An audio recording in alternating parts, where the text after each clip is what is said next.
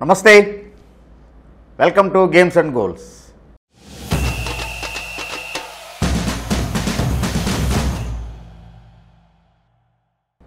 Indian Premier League fifteenth edition match number fifty five Sunday double header seven థర్టీకి DY Patil స్టేడియంలో జరిగేటువంటి ఈ match Chennai super kings versus Delhi capitals జట్ల మధ్యన Delhi Capitals పది పాయింట్లతోటి ఫిఫ్త్ పొజిషన్లో ఉంటే చెన్నై సూపర్ కింగ్స్ ఇప్పటికీ నైన్త్ పొజిషన్లోనే ఉంది.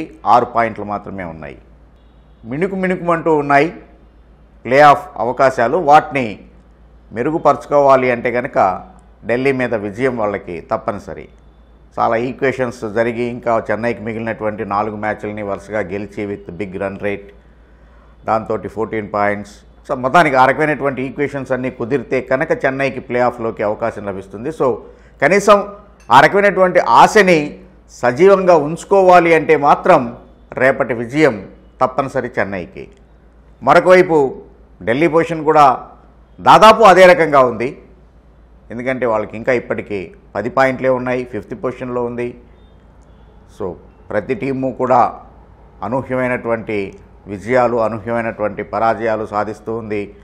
ఏ రకంగా అయితే కనుక గుజరాత్ టైటాన్స్ ముంబై చేతిలో నిన్న ఓడిపోయిందో. సో ఇలాంటి అన్ఎక్స్పెక్టెడ్ రిజల్ట్స్ అన్నీ సంభవిస్తున్నటువంటి ఈ ఎడిషన్లో ఢిల్లీ ఖచ్చితంగానే మరొక రెండు పాయింట్లని ఈ మ్యాచ్ ద్వారానే కూడగట్టుకోవాలని ఎదురు చూస్తూ ఉంటుంది. సో అందుకని మంచి ఇంట్రెస్టింగ్ మ్యాచ్గా అయ్యేటువంటి అవకాశం ఉంది. ఈ రెండు జట్లు ఇంత మటుకు ఇరవై ఆరు సార్లు తలబడితే అందులో పదహారు సార్లు చెన్నై విజయం సాధించింది. ఢిల్లీ కేవలం పది సార్లు మాత్రమే. అయితే ఇక్కడ చెప్పుకోవాల్సినటువంటిది లాస్ట్ ఫైవ్ మ్యాచెస్ని గమనించినట్లయితే కనుక ఢిల్లీ నాలుగు విజయాలు సాధిస్తే చెన్నై ఒకటే విజయాన్ని నమోదు చేసుకుంది. అయితే ఇక్కడ చెప్పుకోవాల్సినటువంటిది లాస్ట్ సీజన్. లీగ్ ఫేస్లో ఆడినటువంటి రెండు మ్యాచ్ల్లోనూ ఢిల్లీ విజయాలు సాధించింది. బట్ ఆ తర్వాత క్వాలిఫైయర్ మ్యాచ్లో మాత్రం చెన్నై అద్భుతమైనటువంటి విజయాన్ని నమోదు చేసుకుంది. మొట్టమొదట పృథ్వీ షా అండ్ రిషబ్ పంత్ ఇద్దరు హాఫ్ సెంచరీలు సాధించడంతో వన్ సెవెంటీ ఫైవ్ సాధించగలిగింది ఢిల్లీ. ఆ తర్వాత రుతురాజ్ గైక్వాడ్ అండ్ రాబినో తప్ప ఇద్దరు హాఫ్ సెంచరీలు సాధించడంతో ఫైవ్ వికెట్స్ విక్టరీని నమోదు చేసుకుంది Chennai last edition.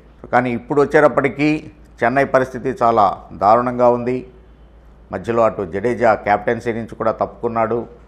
Dhoni captaincy చేపట్టిన తర్వాత మొదటి మ్యాచ్ విజయాన్ని అందుకున్నాడు. బట్ లాస్ట్ మ్యాచ్ ఆర్సీబీతో జరిగినటువంటి దాంట్లో మాత్రం ఓటమి చవి చూసింది. ఢిల్లీ విషయానికి వచ్చేటప్పటికీ వాళ్ళు ఆడినటువంటి లాస్ట్ మ్యాచ్ ఎస్ఆర్హెచ్కి విరుద్ధంగా అద్భుతమైనటువంటి విజయాన్ని నమోదు చేసుకున్నారు. మొత్తం మీద ఈ వెన్యూలో కనుక డివై పాటిల్ వెన్యూలో ఇది జరగబోతోంది ఈ మ్యాచ్. ఈ వెన్యూకి సంబంధించి ఢిల్లీ క్యాపిటల్స్ ఇంత మటుకు ఒకే ఒక్క మ్యాచ్ ఆడింది అక్కడ అది లక్నోతోటి ఓడిపోయింది.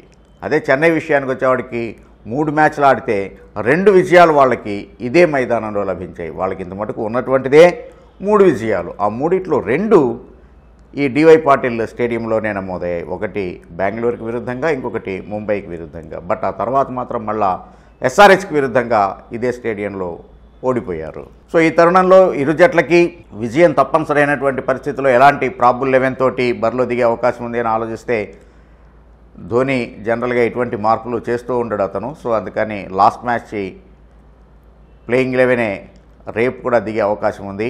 రుతురాజ్ గైక్వాడ్ క్యాన్వాయ్ మొయిన్ అలీ రాబినో తప్ప Ambati Rayudu MS Dhoni Ravindra Jadeja Pretorius Simarjeet Singh Mukesh Choudhary Maheesh Theekshana. So ఈ రకమైనటువంటి ప్రాబుల్ లెవెన్తో బరిలో దిగే అవకాశం ఉంది. మరొక వైపు ఢిల్లీ క్యాపిటల్స్ని కనుక గమనించినట్లయితే వాళ్ళు కూడా పెద్దగా మార్పులు చేసే అవకాశం ఏమీ కనబడట్లేదు. ఎందుకంటే పర్టికులర్గా ఎస్ఆర్ఎస్తో జరిగిన మ్యాచ్లో అద్భుతమైనటువంటి విజయాన్ని అందుకున్నారు కాబట్టి అదే లెవెన్తో తిరిగే అవకాశం ఉంది. So David Warner Mandeep Singh Mitchell Marsh Rishabh Pant Lalit Yadav Rovman Powell Ripal Patel Shardul Thakur Kuldeep Yadav Nokia and Khaleel Ahmed. So Nokia ఒకటి రేపటి మ్యాచ్లో వచ్చే ఛాన్స్ ఉంది. సో ఈ రకమైనటువంటి ప్రాబుల్ లెవెన్ తోటి బరిలో దిగే అవకాశం ఉంది. మొత్తం మీద ఈ సీజన్లో కనుక చూసినట్లయితే చెన్నై మూడు సందర్భాల్లో టూ హండ్రెడ్ ప్లస్ స్కోర్లు సాధించింది. అలాగనే ఢిల్లీ కూడా మూడు సందర్భాల్లో టూ హండ్రెడ్ ప్లస్ స్కోర్లు నమోదు చేసుకోగలిగింది. ఢిల్లీ లాస్ట్ మ్యాచ్ ఏకంగా ఎస్ఆర్హెచ్కి విరుద్ధంగా కూడా two hundred and two సాధించగలిగింది.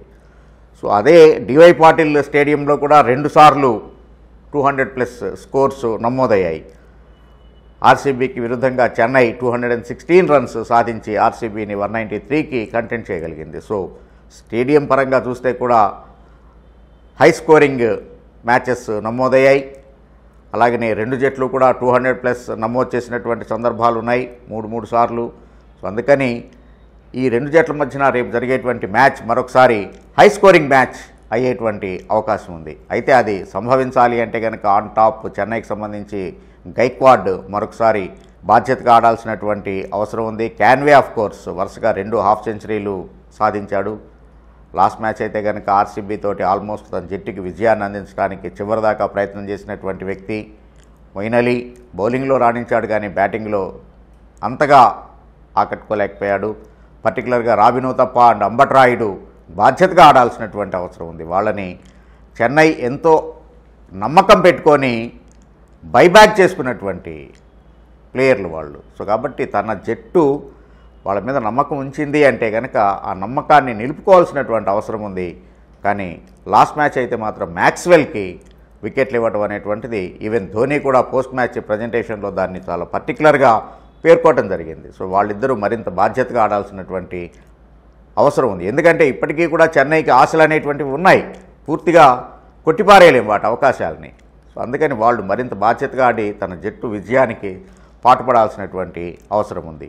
Even Ravindra Jadeja ఇటు క్యాప్టెన్సీ నుంచి తప్పుకున్నా కూడా బ్యాటింగ్లో రాణించలేకపోతూ ఉన్నాడు. సో ప్రిటోరియస్ అఫ్ కోర్స్ తనకు వచ్చినటువంటి అవకాశాన్ని ఉపయోగించుకుంటూ భారీ షాట్లు ఆడేటువంటి ప్రయత్నం అయితే చేస్తూ ఉన్నాడు. పర్టికులర్గా లాస్ట్ మ్యాచ్లో ముఖేష్ చౌదరి తేలిపోయాడు. త్రీ ఓవర్స్ మాత్రమే వేశాడు. థర్టీ రన్స్ కన్సిడర్ చేశాడు. సో రేపతను మరింత కట్టుదిట్టంగా బౌలింగ్ చేయాల్సినటువంటి అవసరం ఉంది. తీక్షణ మాత్రం చాలా అద్భుతమైనటువంటి బౌలింగ్ చేస్తూ ఉన్నాడు. మొయిన్ అలీ కూడా లాస్ట్ మ్యాచ్ ధోని క్యాప్టెన్సీలోకి వచ్చిన తర్వాత ఒకసారిగా మొయిన్ అలీలో ఉన్నటువంటి ఆ బౌలర్ బయటకు వచ్చాడనుకోవచ్చు. కీలకమైనటువంటి డూప్లిసిస్ అండ్ కోహ్లీ రెండు వికెట్లనే అతనే సాధించాడు లాస్ట్ మ్యాచ్. సో అందుకని మరొకసారి మొయిన్ అలీ మీద ధోని ఆధారపడతాడు అనడంలో ఎటువంటి అనుమానము లేదు. సో వీళ్ళందరూ కనుక వాళ్ళ బాధ్యతని గుర్తించి అటు బౌలింగ్ బ్యాటింగ్ డిపార్ట్మెంట్లో చక్కగా రాణించగలిగేట్లయితే మాత్రం వీళ్ళిద్దరూ తలబడినటువంటి లాస్ట్ ఇది లాస్ట్ ఇయర్ లాస్ట్ మ్యాచ్ ఏదైతే ఉందో ప్లే ఆఫ్లో క్వాలిఫైయర్లో చెన్నై ఏ రకమైన విజయాన్ని అందుకుందో ఆ రకమైనటువంటి విజయాన్ని అందుకునే అవకాశం ఉంటుంది. అటు ఢిల్లీ విషయంలో వస్తే కనుక David Warner of course SRH తోటి ఆకాశమే హద్దుగా చెలరేగిపోయాడు నైంటీ టూ నాట్అవుట్ మరొకవైపు అటు పావెల్ కూడా అద్భుతమైనటువంటి బ్యాటింగ్ చేశాడు. సో కాబట్టి వాళ్ళిద్దరూ మంచి ఫామ్లో ఉండటం అనేటువంటిది ఢిల్లీకి కలిసి వచ్చేటువంటి అంశం. మందీప్ కూడా మంచి బ్యాటరే. మిచిల్ మార్ష్ మరింత సేపు నిలబడాల్సిన అవసరం ఉంది. రిషబ్ పంత్ ఎందుకని తన స్థాయికి తగినటువంటి బ్యాటింగ్ చేయలేకపోతున్నాడు అర్థం కావట్లేదు. రేపు అతను కొంచెం బాధ్యతగా ఆడాల్సినటువంటి అవసరం ఉంది. శార్దుల్ ఠాకూర్ చక్కటి బౌలింగ్ చేస్తూ ఉన్నాడు. కుల్దీప్ యాదవ్ ఎస్ చక్కగా బౌలింగ్ చేస్తున్నాడు కానీ లాస్ట్ మ్యాచ్ అతను తేలిపోయాడు. కొంచెం బహుశా రేపు కుల్దీప్ యాదవ్ని చాలా జాగ్రత్తగా ఆడాల్సినటువంటి అవసరం ఉంది. సిఎస్కే బ్యాటర్లకి. అలాగనే నోకియా ఒక మ్యాచ్లో రాణిస్తూ ఉంటే ఒక మ్యాచ్లో ఫెయిల్ అవుతూ ఉన్నాడు. అందుకనే అతను ప్రతి మ్యాచ్లో కూడా ప్లేయింగ్ లెవెన్లో కూడా అతను తీసుకునే ధైర్యం చేయట్లేదు రిషబ్ పంత్. సో నోకియా రేపు మరింత కట్టుదిట్టంగా బౌలింగ్ చేయాల్సినటువంటి అవసరం ఉంది. ఖలీల్ అహ్మద్ అఫ్ కోర్స్ తన స్థాయికి తగినటువంటి ప్రదర్శన చేస్తూనే ఉన్నాడు. నో రిగ్రెట్స్ మరి ఢిల్లీ క్యాపిటల్స్ అభిమానులకు కావచ్చు కెప్టెన్కి కావచ్చు. సో ఖలీల్ అహ్మద్ నుంచి మరొకసారి అదే రకమైనటువంటి ప్రదర్శనని ఆశిస్తూ ఉంటుంది. ఏదైనా కానీ రెండు జట్లు చాలా బలంగా సమానంగానే ఉన్నాయి సమానమైనటువంటి ప్రయాణం చేస్తూ ఉన్నాయి. సో ఈ తరుణంలో ఎవరికి ఎడ్జ్ ఉంది అని చెప్పడం అనేటువంటిది కొంచెం కష్టమైన విషయం. బట్ ధోని మార్క్ అనేటువంటిది చూపిస్తాడు అనే ఉద్దేశంతో ధోనికి కొంచెం ఎడ్జ్ ఉందేమో అంటే సిఎస్కేకి ధోని వల్ల కొంచెం ఎడ్జ్ ఉందేమో అని చెప్పేసి అని భావించవచ్చు. ఆ యాంగిల్లో my take is for Chennai Super Kings. Thank you. Thanks for watching games and goals